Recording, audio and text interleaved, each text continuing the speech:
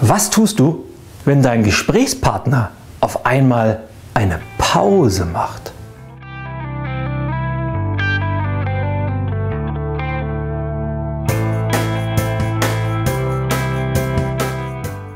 Hallo liebe Freunde und herzlich willkommen zu einer weiteren Ausgabe von Attitüde TV.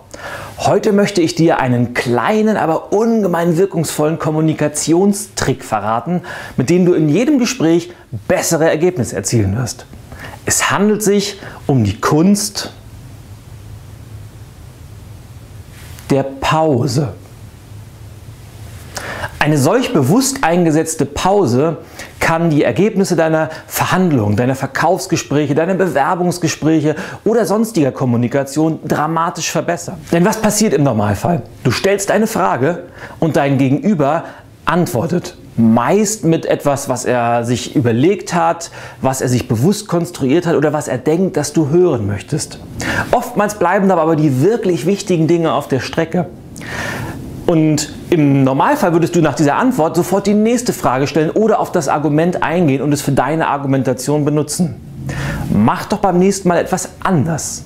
Veränder dich. Denn wenn die Antwort deines Gegenübers gekommen ist, machst du beim nächsten Mal einfach nichts. Du machst eine bewusst eingesetzte Pause. Und dadurch fühlt sich dein Gesprächspartner quasi verpflichtet, weiterzusprechen. Und er wird dir ganz, ganz häufig die Sachen verraten, die du wirklich hören möchtest. Die Sachen verraten, die tief in seinem Inneren schlummen und die das sind, was er wirklich sagen wollte, vorher aber leicht zurückgehalten hat.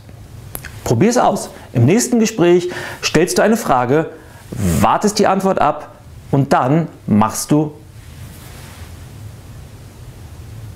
eine Pause. Und die darf ruhig zwei, drei Sekunden lang sein. Halt die Stille aus und du wirst feststellen, dass dein Gesprächspartner definitiv der Erste ist, der antworten wird. In diesem Sinne, teil Attitüde TV mit deinen Freunden und lass mich wissen, wie du mit der Pause zurechtgekommen bist und welche Ergebnisse du erzielt hast. Ich wünsche dir eine wundervolle Woche und freue mich, dich beim nächsten Mal wiederzusehen. Bis dahin, alles Gute, dein Ilja Greschkowitz.